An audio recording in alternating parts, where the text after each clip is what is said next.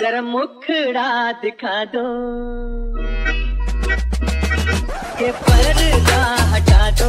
जरा मुखड़ा। तो न्यू प्रोजेक्ट पे क्लिक कर लेना है। यहाँ से आपको इस वीडियो का लिंक आपको टेलीग्राम पे मिल जाएगा तो इसे आपको डाउनलोड कर लेना है। देख सकते हैं ये वीडियो इसको पहले डिलीट कर लेना है। और यहाँ से जहाँ से ब्लैक स्क्रीन स्टार्ट हो रहा है, देखिए यहाँ पर वीडियो है। और जहाँ से ब्लैक स्क्रीन स्टार्ट होगा, आपको वहाँ पर कट कर लेना ठीक है? यहाँ पर देखिए ब्लैक स्क्रीन आ गया। यहाँ से तो यहाँ पर आपको स्प्लिट कर लेना है। स्प्लिट कर लेने के बाद गैस आपको यहाँ पर जैसे जहाँ पर स्प्लिट किया यहाँ पर आपको जाकर फ़ोटो ऐड करना है। जिस फ़ोटो से आप बनाने वाले हैं तो चलिए हम फटाफट उस फ़ोटो को ऐड कर लेते हैं।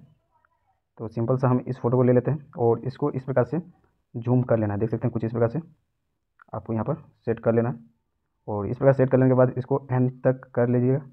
और एंड तक करने के बाद गैस आपको यहाँ पर देख सकते हैं यहाँ पर ऑप्शन मिलेगा आपको इसे फ़िल्टर पर। और उसके बाद आपको एडजस्ट पे और यहाँ से आपको कर देना है सिचुएशन पे और इसको कर देना है डिक्रीज देख सकते हैं इस प्रकार से सफ़ेद कर लेना और सही पे क्लिक कर लेना। उसके बाद आपको यहाँ पर ऑप्शन मिलेगा, देख सकते हैं, मास्क का। और इस पर थर्ड नंबर पर जो मिरर है, इस पर आपको क्लिक करना है। कुछ इस प्रकार से आपको इसको यहाँ पर एडजस्टमेंट करना है। तो चलिए हम इसको यहाँ पर ले जाते हैं और इसको हम एडजस्ट करने वाले हैं। तो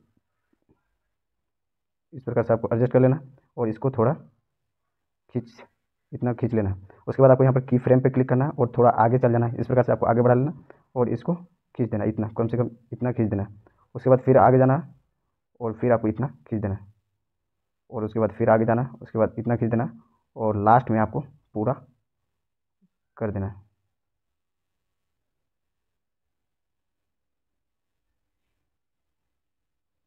और यहाँ पर सही पे आपको क्लिक कर देना। है देख सकते हैं, आपका जो स्टेटस है, वो लगभग कंप्लीट हो चुका है। अब इसमें आपको कुछ इफ़ेक्ट ऐड करना है तो यहाँ पर मोशन पे जाना है और यहाँ पर फेड कर देना। है देख सकते हैं, और इसके ड्यूरेशन को कुछ इस प्रकार से ज़ीरो पॉइंट फाइव कर लेना है और लोप एनिमेशन पे जाना है और ब्लिंक पे आपको क्लिक करना है और इसके ड्यूरेशन को ज़ीरो पॉइंट टू सेकेंड कर लेना है।